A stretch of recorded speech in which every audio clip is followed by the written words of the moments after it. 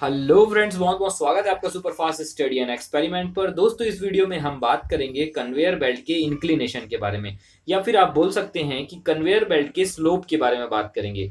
यानी कि conveyor belt कितने डिग्री पर इंक्लाइंड होता है और कैसे डिसाइड करें कि कौन से कन्वेयर को कितने डिग्री पर इंक्लाइन करना है, और क्या वैल्यू होनी चाहिए डिग्री की, इंक्लिनेशन की, ये इस वीडियो में हम जानेंगे। तो चलिए वीडियो को स्टार्ट करते हैं।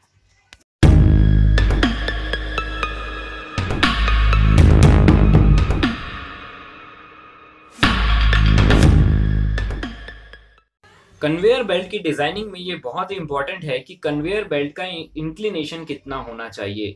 और ये डिपेंड करता है टाइप ऑफ़ मटेरियल जिसको आप कन्वेयर बेल्ट से एक जगह से दूसरी जगह शिफ्ट कर रहे हैं, उस पर डिपेंड करता है।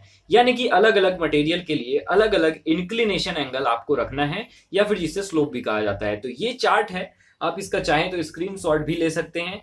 ये है chart different type of material के हिसाब से आपको कितना डिग्री आपका स्लोप रखना है कन्वेयर बेल्ट का, या फिर उसको कितने डिग्री तक आप मैक्सिमम इंक्लाइन कर सकते हैं। तो यहाँ पर देखिए बिटमिनस कोल का जो है, आप उसको 18 डिग्री तक कर सकते हैं। बिटमिनस कोल साइज्ड अगर वो साइज़ में, छोटे छोटे छोटे साइज़ में है तो उसको आप 15 टू 16 डिग्री कर सकते हैं। बिटमिनस कोल स्टैग स्लैक उसको आप 20 डिग्री तक रख सकते हैं। ब्राउन कोल को आप 18 डिग्री, सीमेंट पोर्टलैंड लूज को आप 20 degree, clay fine and dry को 22 डिग्री तक आप इंक्लाइन कर सकते हैं। तो यहाँ पर पूरा, यहाँ पर वैल्यू दिया हुआ है। रॉक से लेकर के रॉक, सैंड और आपका कोल और सीमेंट, आपका सल्फ़र, इन सब के बारे में दिया हुआ है इसमें। तो दोस्तों, ये वीडियो काफ़ी हेल्पफुल है। क्योंकि इंटरव्यूज़ में कभी कभी डायरेक्टली ये क्वेश्चन पूछा जाता है और साथ ही अगर आप इंडस्ट्री में अगर आप एक कन्वेयर डिज़ाइनिंग पे काम कर रहे हैं, आपको कन्वेयर बेल्ट एक स्टेब्लिश करना है, आपको कन्वेयर बेल्ट का सेटअप आपको तैयार करना है तो ये बहुत ही इंपॉर्टेंट है।